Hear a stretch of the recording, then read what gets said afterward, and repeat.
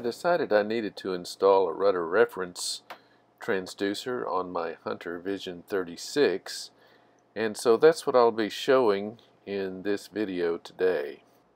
I ordered the rudder reference transducer as a Christmas gift for my boat and it comes with all the parts necessary uh, to install it and get it connected to your existing Raymarine autopilot system.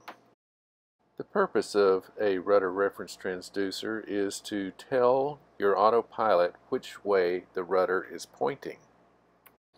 As you can see, this is spring-loaded, has a long cable so it can connect to the proper electronic device uh, in your autopilot system. It comes with all the screws and connectors and a long threaded connecting rod to connect the rudder reference transducer to the point of contact on your rudder.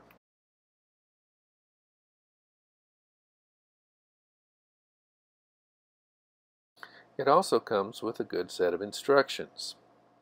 Unfortunately, the instruction diagrams don't look much like what I have on my boat. So, as is often the case when installing equipment on your sailboat, some improvisation is required.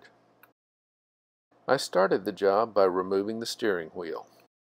Next, I removed the deck panel that covers the steering cables and the steering quadrant which sits on top of the rudder post.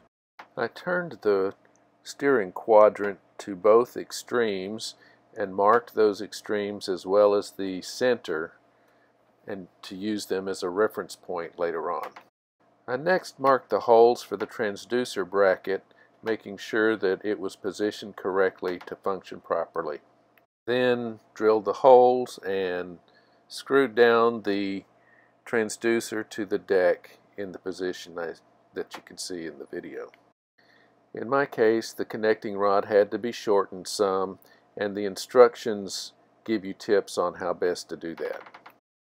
You really need to measure the connecting rod carefully so that the transducer does its job and functions correctly.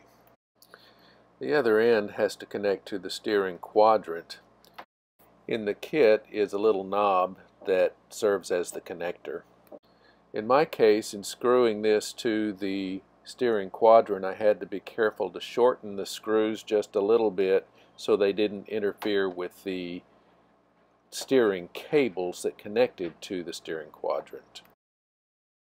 After I connected both ends of the connecting rod, I tested to make sure there was no interference by just turning the steering wheel on the boat. The final step of the hardware installation is to attach the transducer wires to the actuator control unit in the appropriate place. Finally, I put the deck back down and the steering wheel back on and went through the configuration of the autopilot so that the rudder reference transducer is recognized by the system. Hope this helps. If you liked it, give me a thumbs up and subscribe to Jim Sails.